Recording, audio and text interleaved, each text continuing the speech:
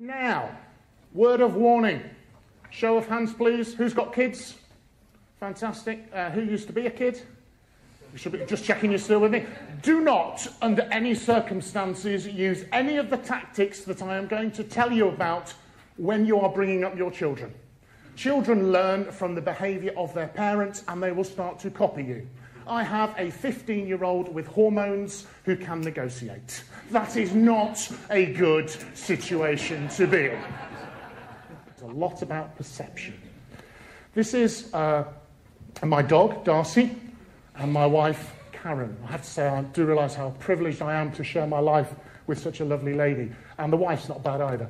Now, um, you can probably notice that Darcy's fairly sizable as dog goes. Darcy's a Great Dane.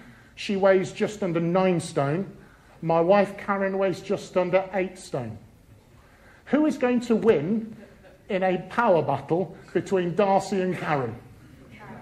Darcy, every time, unless Karen uses psychological principles to control her. Now, I've learnt rather a lot.